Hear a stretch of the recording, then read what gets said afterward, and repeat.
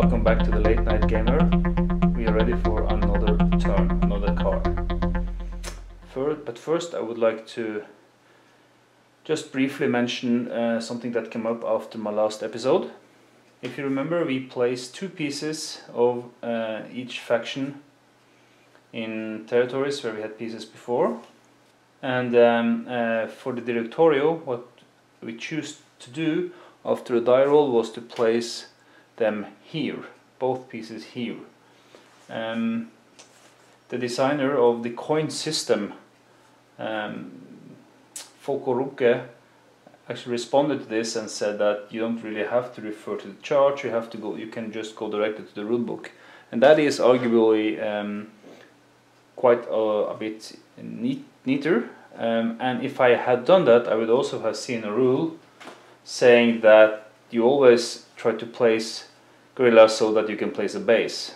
Now that would have meant that I should have placed the first guerrilla in Havana and then a base in Havana afterwards because then the, the Directorio would have three bases sorry the Directorio would have three guerrillas and then would allow them to place a base in Havana making a major threat there now um, this actually allows me to talk a little bit about the coin system itself because it's designed for four people and even if you don't follow the AI chart um, literally to the letter every time it doesn't really matter it can you can make errors in the AI chart priorities and it doesn't break the gameplay, which is really good. And uh, because a human player could do anything, right? He could he could rally anywhere without any priorities or do anything without any priorities other than the you know the spur of the moment. And and you can do that also here, and that that you don't break the AI system at all by doing that, which is excellent. So that was the little uh, thing I wanted to say before we start. Um, and then now the active card is this one which is the 12 yes very nice. So you can see on the card that uh, the first acting faction is the 26th of July then Directorio. And the event is that is it's a tale of survivors inspires movement a faction free marchers then free rallies at the march destination which is which is a, a, a, fantastic event, and I will definitely take that as the uh, 26th of July player because now I can move my pieces and I can free rally at that march destination. Normally a movement or a march costs money. If you look at the chart for March, it says that I can move friendly guerrillas of course and the location is any space but the procedure is that I move the guerrillas into adjacent spaces, that's fine, no problem there. If the destination has support, meaning if it's if, if, if the support marker is blue, so if it has support, oops, sorry, if it has support or is an, or is an, an economic center, and if moving guerrillas plus cubes that exceeds 3, then activate the guerrillas. So what that means is that basically if there are troops there that are more than three uh, when you add your guerrillas and you have support there in the people in, in the people they will basically rat you out and that means that when you, you your guerrilla is marching into say Santiago de Cuba uh, no no that's a bad example because it hasn't support uh, yeah okay so if I go into Havana for instance then they have active support criteria number one is fulfilled, population are supporting the government, and there are so many police and troops here that they will expose my guerrilla and leaving my guerrillas vulnerable for attack. So Havana may not be a good option for March. So these things still apply even though the march itself is free. So what I'll do is, hmm, I will um, instead I will march with one guerrilla into Santiago de Cuba. So moving into Santiago de Cuba um, with only one and this place do not have support so the people here will not tell the government where I am. In addition I will then free rally at the march destination. So when I rally I can basically add a guerrilla to the space or I can replace two guerrillas with a base. So I'm not doing that of course because that exposes me a lot. When the government is attacking me they have to take the guerrillas before the base and if there's no guerrillas there then they will just remove the base immediately. So I'm going to keep my guerrillas there. I'm going to do the rally by adding on another guerrilla. Okay, so now you can see that I am almost even with the government in this space. Now they still have control, no problem there. Uh, so I still have control here and also there. Um, the government, here the government still has control. Okay, so that's my action. Um, according to the card, now it's the Directorio. The event card is gone and they have to, to select this space here which is um, operations and special activity. So let's have a look at their flowchart to see what they'll do. Can they do a terror operation where there is active opposition or active support? Or can they assassinate where there is a government base? And yes, you will see that they can do that. Because, sadly for me, um, this is an active support. They have guerrillas there, meaning they can do a terror. If you briefly refer, refer to the terror here, you can see that what is it? A terror? Well, you can do it in any space with underground guerrillas. It costs one resource per city province.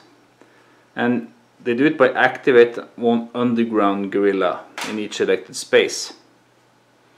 Right, and then you do something other stuff which I'll show you, um, which I'll show you momentarily. So, you have to have an underground guerrilla Yep, they have it there, also in their own province in Camagüey. Um, but uh, that Camagüey have only passive opposition, while here we have active support. So this is a place they will do a, a terror operation in. So how do they perform the terror operation? They will do a terror where there are underground guerrillas. First, where there is active support we already located, that's Havana. Then, where there's active opposition, there's no places like that. And finally, at one other um, assassination target, but there's no no other because uh, they only have they only have uh, guerrillas in two spaces on the board in Camagüey and in Havana. So it's back to Havana. It's all about Havana now. and they will have to pay one resource to do that. So uh, first they will activate one of their underground guerrillas. This is the one doing the terror operation. And that apparently has a tremendous bad effect on the region or the city because um, because it actually shifts the support one level towards neutral. So that this one goes from active support to passive support. And for the government, that is very, very tough because now I lost six support points. I went from a times two, six times two support from this region to a six times one support. And I also had to add a terror marker so that you remember that in this space it has had a terror operation. It has yeah, a terror operation, something happened. Okay, so what else do they do? The flowchart says that after the terror operation, then they will assassinate. And they do it where the Directorio did maximum one terror operation and where the guerrillas outnumbers the police in maximum one space. So even if they did terror operations in more than one space, they will only assassinate in one. Luckily for me, I have enough police here so that the police actually outnumbers the guerrillas, even if you count the terror markers. It's just, I mean, there are three guerrillas and four police, so they cannot assassinate. So they will stop them. They will not assassinate. So if if I didn't, that, that's the point with police now. When they do terror, when the guerrillas do terror, and the police will protect from assassination. Yeah, an assassination, that, that mean, really is that they get to remove a piece or they can close a casino. Okay, so that's actually it for the Directorio. the last thing I have to remember is to deduct one resources for the for the operation. Oh, and also, and that, yeah, I'd rather not do that, but I have to, of course. I have to move total support from 16 to 10 for the government. And now support is important also, um, also between rounds, because um, if I do not have a certain number of support when the propaganda card comes up, then the US alliance will shift to one step down the ladder and everything I do will be more costly. I will be less supported by the US. So I need to keep my support high. I need to have 19 support in order to avoid that degradation or degeneration of the US alliance. Um, so so um, uh, it's pretty tough, you can imagine. It's, it's basically my winning condition. Okay, so what happens now is that these two factions, because two factions have acted on the event card, goes to the ineligible faction. This guy, the syndicate, comes back up to the eligible factions. And we move to the next card. I will shift the card down to active and I flip this one. Okay. And the active card now, that is this card resistance. Okay, but the action order is is is this, and we know we know from from the box here that the only two that can do anything are the syndicate and the government. So here the syndicate would go first, and then the government would follow.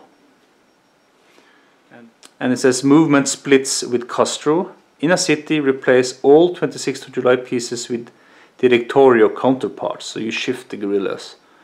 Okay, so that's interesting. But um, let's see what's going on here now.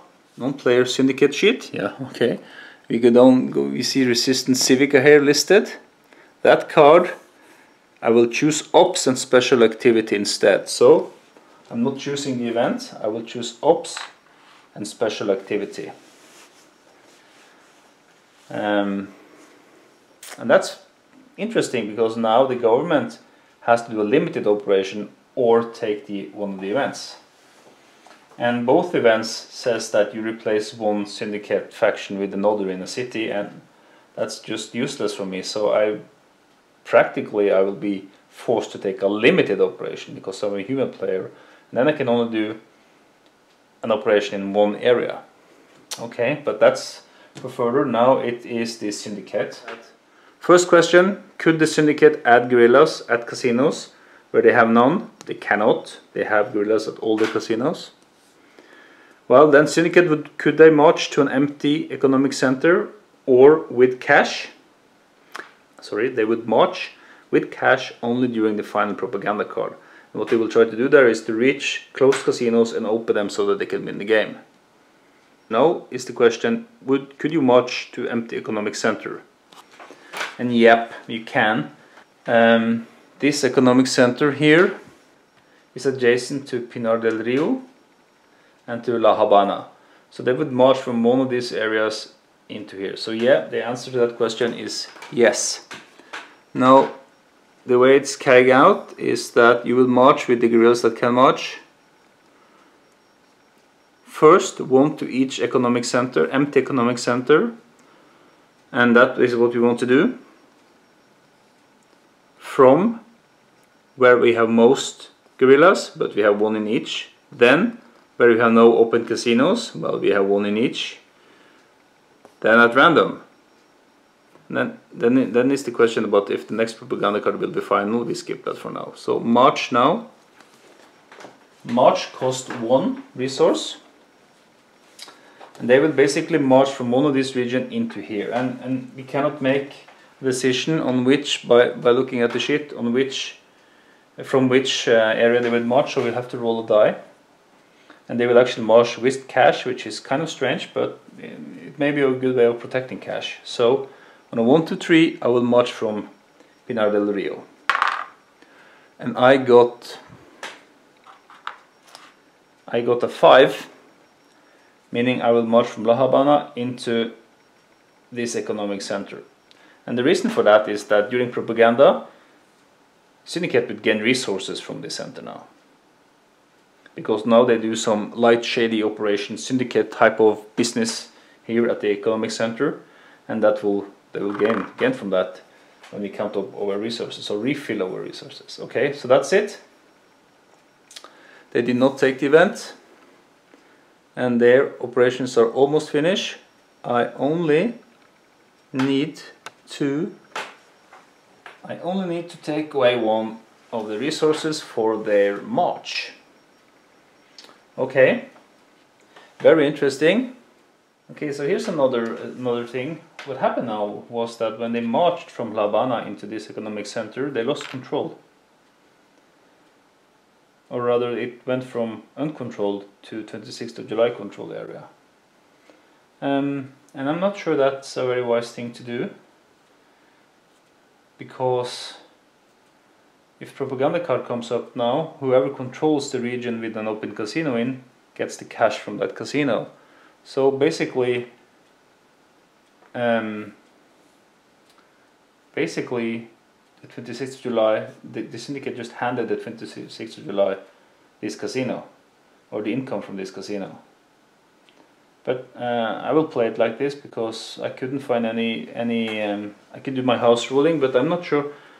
it's so hard to see in the future. It could be a wise move. It could not be a wise move. I don't know. I will keep it, and I will move to to um, the government. Move. Uh, no, sorry. The government has to either take the event or limited operations. And of course, I'm taking the limited operation and I'm going to do what I have been announcing. Uh, I'm going to do something with Havana, regaining control there. So I'm going to do what is called a sweep in Havana. Um, and it says that, well, you can enter areas to locate enemy or gain control, and I can also stay in my own area, of course. Um, location, any cities or province. The cost is per US alliance, costs 2 to 4 resources per space. Now there's a little bit of a typo here on the, the, uh, the um, 8 sheet that comes with the game, so it should be per space, not total. Um, and I do it by moving troops into adjacent selected spaces, but I can stay in my own space of course. Then activate one guerrilla for each cube there. And if there's different terrains, it will have different effects. Oh, sorry, there are different effects there. Um, so I'll do that. I will stay here in Havana. I'm basically just moving it up and down here. And I sweep there and I will activate one guerrilla for each cube. And I have so many cubes that I will activate all the guerrillas that are there. And because it's a limited operation, I don't get to do a special activity. So that's basically the turn for the government. Um, oh no, not yet. I have to pay two resources, of course, like that. Um, well, at least I'm one step closer now to regaining control in Havana. These two uh, gets to be eligible, and, and these two are ineligible. And now we are playing Sinatra. And of the two factions there, the Directorio go, will go first they have a ring around it, so they will do something special. So the event says that it's over. It's an overpriced star. Sorry, um, and the syndicate will lose six resources. Oh, that's interesting. Uh, and the shaded event, which is normally good for government, place an open casino in Havana, regardless of stacking, and then place one cash with police there, which is, I mean, the um, syndicate would love that action for sure. Uh, we have to see what's coming up. It's this one is coming up.